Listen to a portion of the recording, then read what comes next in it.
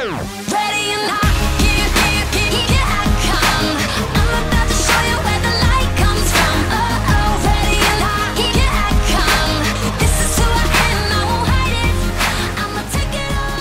to the Algoma News.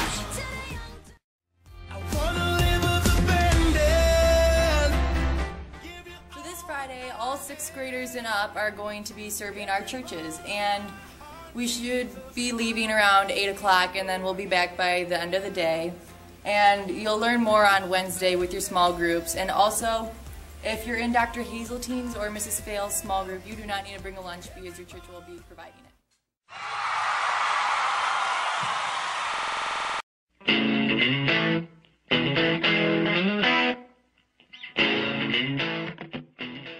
Okay, people, the News Awards are coming up and the votings are open, so just go on 2015 algomanewsawards.weebly.com and vote for your favorite video.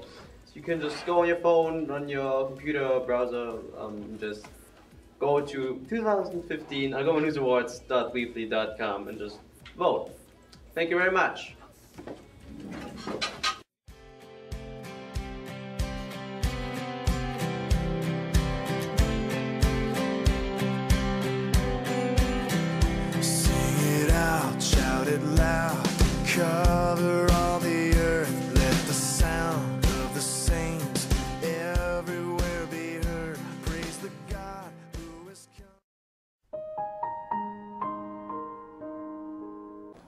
Progress reports are coming out Friday, so uh, don't get bad grades.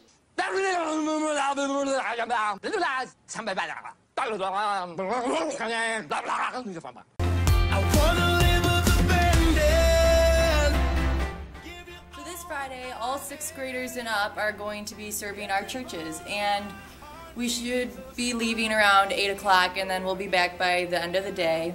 And you'll learn more on Wednesday with your small groups. And also, if you're in Dr. Hazeltine's or Mrs. Fail's small group, you do not need to bring a lunch because your church will be providing it.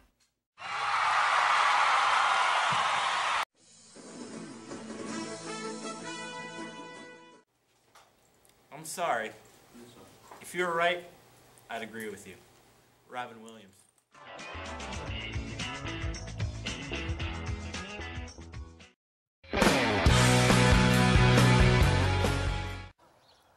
Today it's going to be a high of 62 and sunny.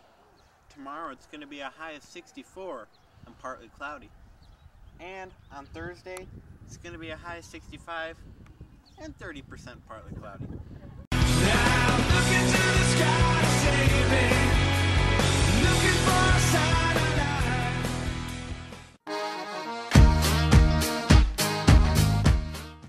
Okay, now we have the sports with Ben and Andrew who have the latest news in sports. Algoma. All right. Thank you, Tom. And uh, now we got some results from last Friday's baseball game. Alrighty, on Friday, the boys played a great game. They uh, won 5 to 4. Ben did really good. He had 13 strikeouts. And on Saturday, the uh, soccer team they won three to two against Zion in double overtime. It was an amazing game. So good job to them. And the baseball team lost against Zion. Yep, and now we're going to send it off to Mr. Scott for last night's results. All right, thanks Ben, Andrew, and Tom. Two games last night. First in girls soccer. The girls improved their record to 6-1 and 1. You know it's a sign of a good team when you don't play your best, but you still find a way to win. Last night Blair scored with a minute and 24 left to bring home the bacon. Kudos to the defense, including Lydia at keeper. There's a big week coming up this week for the girls, could determine first place. So, in baseball, the guys came up a little bit short last night. They lost to Black River 8 to 12. Um, ben and Jared, the Tuna Fortuna, pitched, but the team played uh, with a lot of errors last night, and that really hampered them. So, good job to Matt and Teddy. You had some great defensive plays in the field. And now back to you guys in the studio. Thanks. Thank you for that, Mr. Scott. All right, tonight the girls play a soccer game here at, against Calvary Holland at 5 o'clock. Yep, and then on Thursday, the baseball team has a home game at the Algoma Sports Park.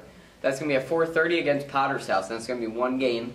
And then the girls soccer team has an away game that night against Calvary Fruitport, so that's a big game. Yep. Yep, and uh, that's, all we got.